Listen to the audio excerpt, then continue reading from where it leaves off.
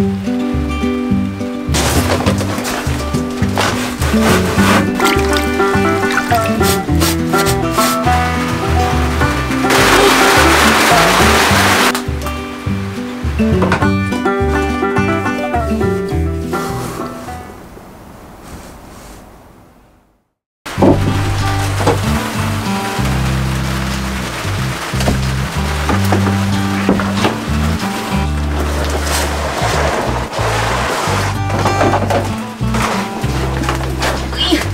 vâng lẽ.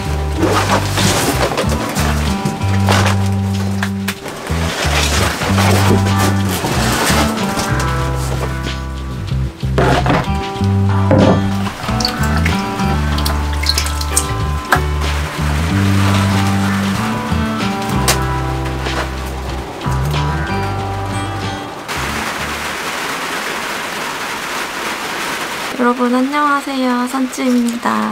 제가 이번 주부터는 청소를 하려고 했는데 청소할 때 천장이랑 시트를 밖에 놔두고 청소를 하려고 했거든요. 근데 비가 내내 내려서 어제 천장은 집에 가져다 놨어요. 비가 오는데 굉장히 기분이 좋아요. 왜냐? 이렇게 비가 오나 눈이 오나 바람이 부나 차 안은 굉장히 고요하거든요.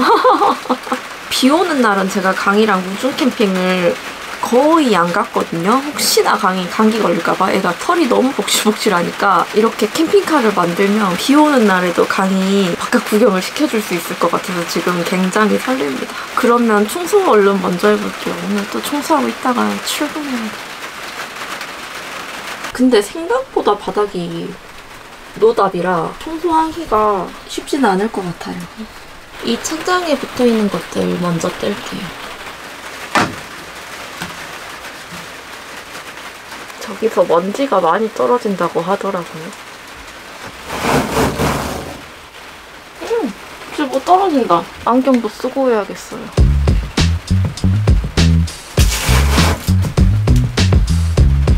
김서려.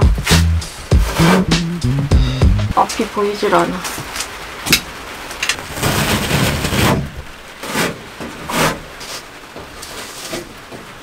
아, 언제 다 뜨냐?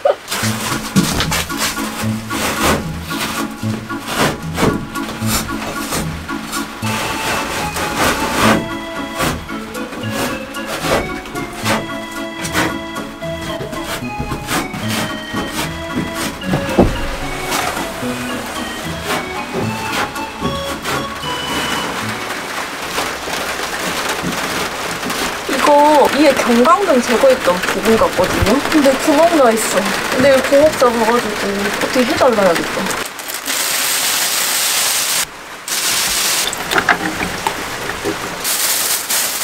이거는 일회용 수세미거든요. 물 묻히면 퐁퐁까지 같이 있는 그런 수세미인 줄 알고 캠핑 때 쓰려고 샀었거든요. 그냥 수세미만 있는 거였어요. 그래서 이거를 처치 못하고 있다가 오늘 청소할 때 쓰면 좋을 것 같아가지고 가지고 왔거든요. 근데 또 물에 적시려고 했더니 얘가 방수야.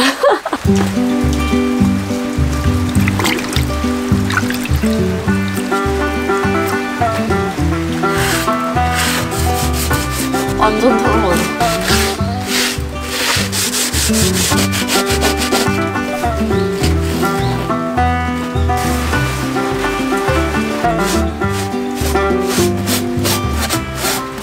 이런데 흙이 많아서 북 같은 거를 사와가지고 청소해야 될 것 같아요.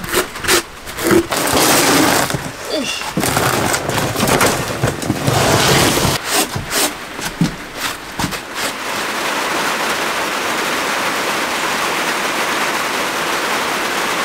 갑자기 비가 엄청 많이 내려요. 요즘 차박을 하면 이런 기분일까요? 너무 좋아.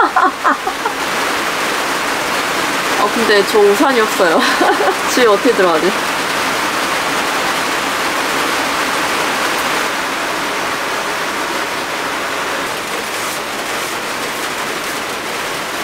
근데 이거는 아무래도 못 같아요. 제거를 나중에 해야 될 것 같아요.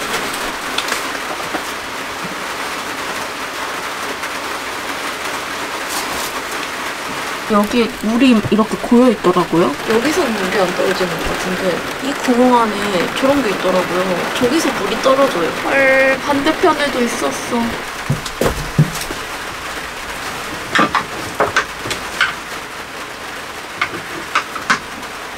오늘은 이쪽 줄만 닦고 출근해야 돼서 들어가가지고 좀 자야 될 것 같아요.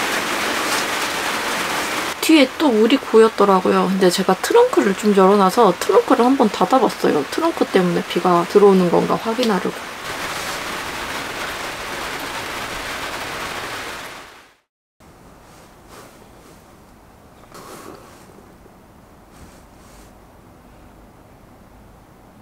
중고차를 공짜로 수리할 수 있는 약간의 꿀팁을 알려드리려고 나왔습니다. 제 차가 중고차 책임보험이 가입되어 있었거든요. 근데 중고차를 살 때 성능보험지라는 게 있거든요. 누유가 없다고 체크가 돼 있었어요. 근데 카바조 정비사님이 차량 상태 확인할 때 미션 뒤 retainer 쪽이랑 하부 오일팬 쪽에 누유가 있다고 하시더라고요. 그래서 책임보험 가입되어 있는 보험사에 연락을 했어요. 그러면 지정 공업사를 배정해 주시거든요. 거기에 가서 진짜 이상이 있는지 확인하고 하고 이상이 있으면 보험회사에 보험으로 수리를 받을 수 있는지 확인을 한 번 더 받으시더라고요. retainer 쪽은 누유가 확실해서 그거는 보험으로 수리가 가능할 것 같다고 하셨고 하부 오일팬 쪽은 미세 누유라 안 될 것 같다고 하시더라고요. 그래서 오늘은 retainer 누유 있는 쪽 부품 수리를 받으러 갑니다. 부품 교체하는데 3, 40 정도 든다고 들었거든요. 3, 40이 적은 돈은 아니잖아요. 그래서 중고차 사실 때 책임보험에 가입되어 있는지 확인 한번 해보시고 보험으로 수리를 받을 수 있는 있는지 꼭 한번 확인해 보시길 바랍니다. 대신 소모품 같은 거는 보험으로 수리가 안 됩니다. 그럼 얼른 수리 받고 오겠습니다.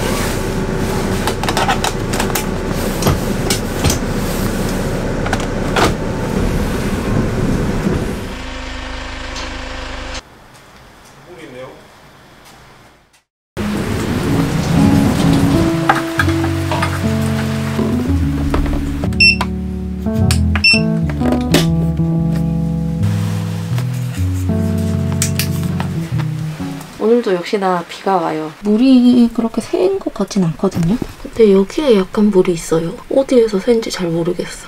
만져보면 물기가 있진 않거든요. 우선 청소를 시작해보도록 하겠습니다. 근데 신발을 신고 차에 들어오니까 이쪽을 저번에 다 닦아놨는데 이렇게 또 더러워지더라고요. 그래서 집에 올라가서 양말 신고 왔어요. 짠! 신고 보니까 고양이 발바닥이었어. 그래서 차 안에서는 크록스 벗고 양말만 신고 있을게요.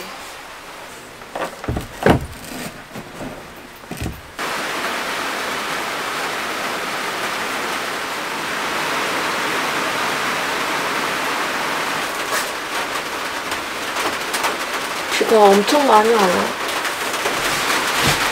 와, 비가 진짜 많이 오는데? 아! 아침에 강의 병원 가야 되는데.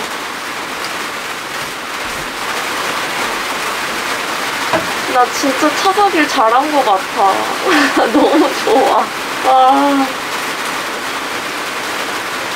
근데 제가 깜빡하고 이차 연식이랑 키로수 가격 이런 걸 말씀을 안 드렸더라고요. 이 차는 12년식이에요. 스타렉스가 12년식부터 순정 DPF가 달려 나오거든요. 그래서 저는 12년식 이후 걸 살려고 했었고 저희 불사조는 11만 킬로를 탔고요. 720 주고 샀습니다. 스타렉스가 그렇게 싸지 않더라고요. 사륜을 사고 싶었는데 사륜은 진짜 싸도 천만 원, 천만 원도 별로 없어. 한 1100, 1200부터? 근데 그걸 사면 제가 정말 파산할 것 같아서 사료는 포기했습니다. 음. 아, 너무 마음에 들어. 아, 비 더워. 어떡해, 너무 좋아. 아, 근데 비가 너무 많이 온다.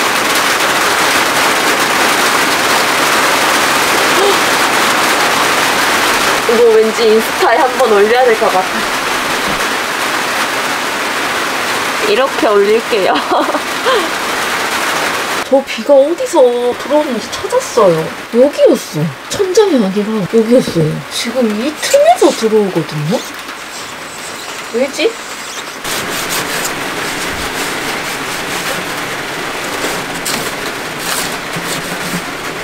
그래서 여기를 실리콘으로 한번 막아볼게요. 다 실리콘으로 막어.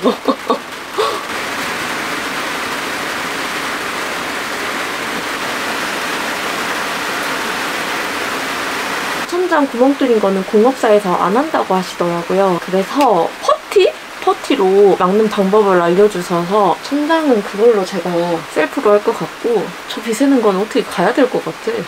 벽에서 새는 거라 큰 돈 들면 안 되는데.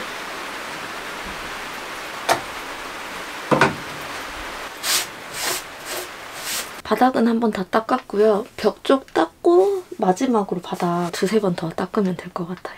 슬라이딩 도어도 목공 작업을 하고 싶었거든요. 근데 이 부분은 너무 곡선이고 여닿는 부분이라 좀 힘들 것 같아서 이쪽은 방진 단열 작업하고 저번에 뗐던 거 다시 붙이려고 하거든요.